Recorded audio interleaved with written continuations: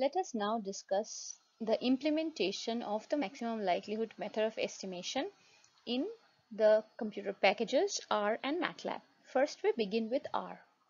Now here we are first generating a data series which is X and that belongs to the normal distribution. So rnorm command is used to generate data which belong to the normal distribution here, whenever you are generating some random numbers, we can set a seed.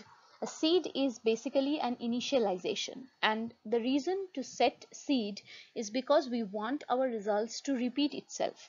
If we do not set the seed, every time we generate random numbers, the output would be different. So now we have a data series X and our goal is to fit the normal distribution to X by using the maximum likelihood method. And we know that, so x, the random variable, belongs to the normal distribution and we know that the normal distribution has two parameters, mu and sigma square. So by fitting the normal distribution, we are doing nothing but estimating mu and sigma square. The command to do that is fit normal and the argument of that function is x, right? So this would give the output of theta which is the estimated parameter set and the VCOV that's the variance covariance matrix of theta. So theta in this case has two values mu and sigma square and those are given by these numbers from these 500 random numbers generated from the normal distribution and if you also recall the variance covariance matrix had the off diagonal elements 0 that's what we had derived for the maximum likelihood method. The variance covariance matrix of the mu and sigma square are 0 mu and sigma square are independent of each other. And this term here would give the variance of mu hat and this term would give the variance of sigma square hat and their square roots would give the standard error of estimate. So now we have got the theta hat which is nothing but mu hat and sigma square hat. We can get the standard error of mu hat. We have also got the variance covariance matrix which is so E11, E12, E21, E22. The diagonal elements would give the squares of the standard errors of mu hat and sigma square hat and the off diagonal elements are 0 in this example. So standard error of mu hat would give would be given by the square root of E11 and standard error of sigma hat square would be square root of E22 and so on. This term here log lik gives the maximized log likelihood but we do see a negative sign before the number which means that it's actually the minimized uh, value of the log likelihood function. Maximizing a function is equivalent to minimizing the negative of the function. So this is the minimized log likelihood value and the sample size n is 500 because we had generated 500 random numbers which belongs to the normal distribution.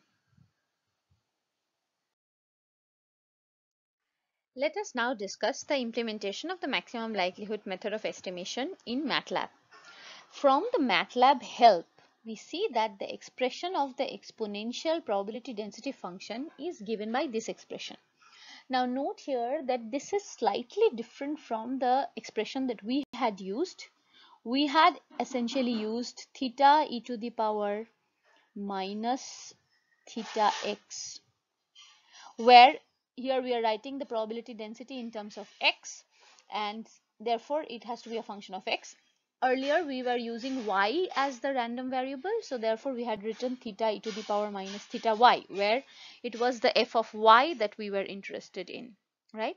Now this is essentially equivalent to this form because all we are doing is estimating the theta.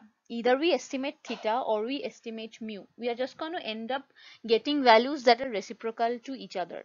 Otherwise it's just the same Now to fit MLE in MATLAB, there are multiple commands to do it and we are going to discuss uh, a couple of them. The first one is using the command exponent, exponential fit abbreviated as exp fit. Again here in the first command what we are doing is we are generating a series of random numbers which are exponentially distributed right the first term here represents the parameter mu from which we are generating these numbers. So 700 is essentially the population mu. How many values we are generating? We are generating a 100 cross 1 matrix which is essentially a vector of 100 numbers, right? The now here you see that to the left hand side of the equal to sign, to the assignment sign, what we have here are two terms. So the output would be 2 instead of 1. The first term is nothing but theta hat, mu hat in this example, right? The second one, mu ci, represents the confidence intervals. So it will give the confidence interval of theta hat. This is the lower limit and this is the upper limit. Right?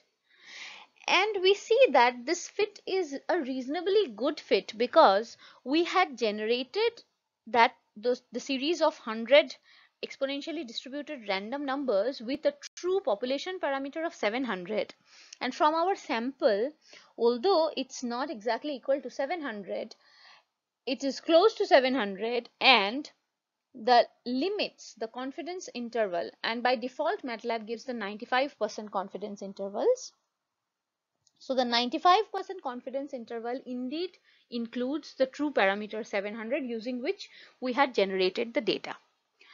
There is another way of implementing a similar thing in MATLAB and for that the command is fit distribution, fit dist. Again lifetimes is the name of the dataset that we had generated and we are using exponential distribution so we put exponential in quotes. So we have to write the distribution's name here. And the output would be the name of the distribution which is exponential. It gives a mu as well as its confidence interval. If we use the command my distribution, so my distribution fit, my underscore dist fit is essentially a structure that has been created in MATLAB using the command fit dist. It has many sub variables within it and we can access it by using the command my underscore dist fit dot the name of the variable. So if we use my dist fit dot parameter covariance, this would give us the variance covariance matrix. In this case, there is a single parameter. So instead of a matrix, it would be a number which represents the variance. When we take the standard the square root of that variance, we get the standard error of theta hat. And from this we get, from the mu hat, we get the theta hat. So this is how we implement the maximum likelihood method. Uh, we can also use the command MLE. I request you to look it up. That's another, the third way of implementing the maximum likelihood method in MATLAB by using the command MLE and it will have a certain set of arguments. So I request you to look that up. Okay.